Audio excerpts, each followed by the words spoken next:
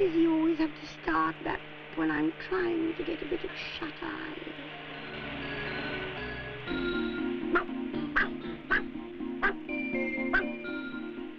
Mm, That's all I needed. I'm off somewhere quieter. Oh, you stupid fool! Mind your own business, spoilsport. Go and get out of it. What's the matter with everyone today? I was only having a game with a bit of cord. That bit of cord could kill you. Oh, don't be so silly. It's an electric flex. You don't play games with electricity. Any cat knows that.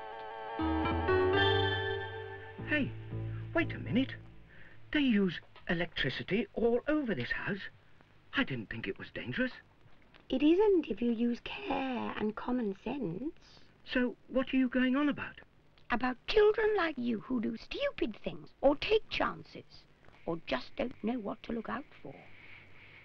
Flexes like the one you were playing with are perfectly safe, but they can become frayed, split, or worn. Particularly on appliances that are moved about a lot. But she's not a kid. Who's telling this story, you or me? Sorry. Hmm. It's a good idea to check the flex of an appliance every time you use it. And get it replaced at once if there's anything wrong. Mm, You're beginning to catch on. Mind you, damage to flexes is often caused by people who don't stop to think what they're doing. Flexes are made to conduct electricity, not to stand up to very high temperatures. And they're certainly not meant to be used in a tug of war.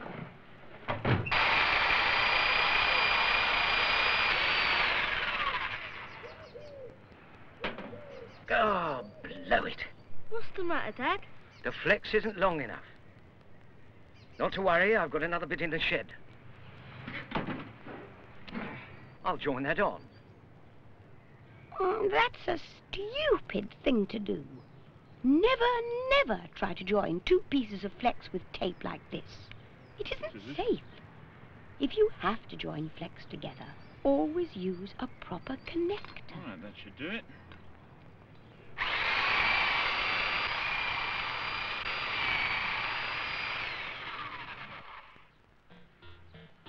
Joins made with tape are even more dangerous out of doors where they can get wet. Just think what would have happened if you'd been having a game with a flex that had been joined like that.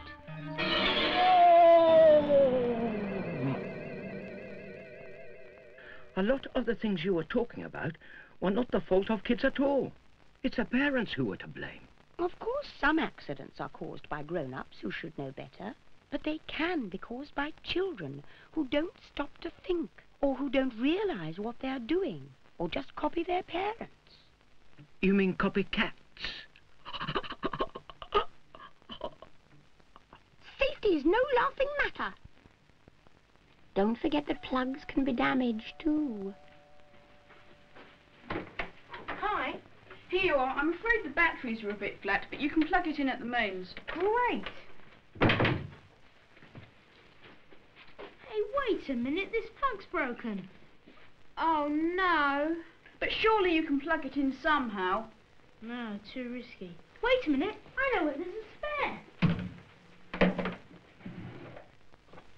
Shouldn't you wait till Dad gets home? No, fitting a plug is easy. There's a label that tells you what to do. Look. Green and yellow for earth, brown for live, blue for neutral. Fitting a plug may be easy, but it still makes sense to let a grown-up do it, or at least check it after you've done it. To make sure the right colour is in the right place. and properly got the right fuse. Mm, that's a 13 amp fuse. What's wrong with that? Fuses like that are meant to protect big machines like vacuum cleaners and spin dryers.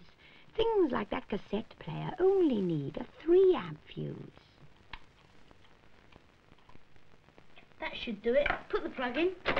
That way you can be sure that if anything goes wrong with the appliance, the fuse will blow at once. Try it now.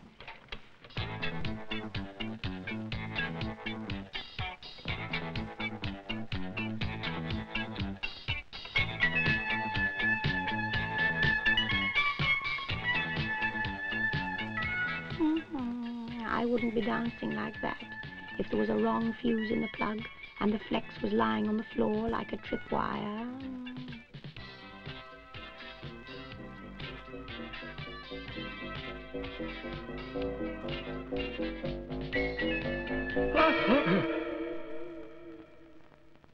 Oh. I didn't half give my head a bang when I tripped over that wire. Well, I would have if I'd been there. That's why flexes should never run across the floor. The shorter they're kept, the safer they are. I suppose you were too busy dancing around to notice something else. Eh? That socket the boy plugged into. What's wrong with that? It's best to have a separate socket for every appliance. Right now. But if you do use an adapter, make sure it's the sort that has a proper fuse. But it's still better to put only one plug in a socket. I'm glad I live in a nice, safe house. Every house is safe if people follow the rules. The kitchen is one place where you've got to be especially careful. There are more electrical appliances here than anywhere else in the home. There's also plenty of water, and water conducts electricity. Never, ever touch a plug or a switch or any electrical appliance with wet hands.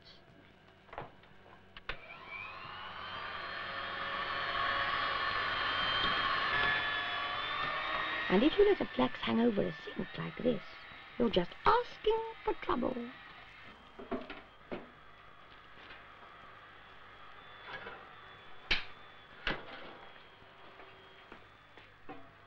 Hmm, that's another stupid thing to do. Always switch off and unplug at the wall socket before filling kettles or steam irons. I never thought water could be so dangerous. Well, now you know. So watch it. There could be a loose wire or damaged flex.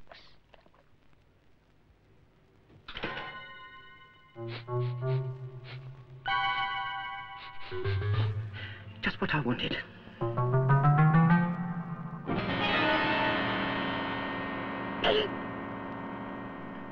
I'm never going to go near anything electric again when I'm wet. That's for sure. Don't forget that there's water in the bathroom, too. It's no place to use portable appliances like hair dryers, even if they're plugged in outside. What about razors? The boss uses one every day.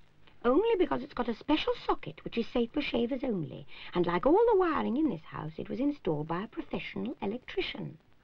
Well, I know I'm going to treat electricity with respect in future. There's nothing to be frightened of, provided you use... Care and common sense. Oh, exactly. Remember, keep your eyes open for worn or damaged flexes. And never join two pieces of flex together with tape.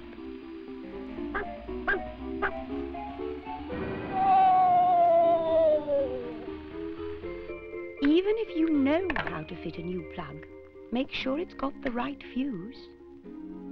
Always try to put only one plug in the same socket and don't leave tripwires lying around. Don't things like kettles and steam irons when they are plugged in. And never handle plugs, switches or any electrical appliance with wet hands.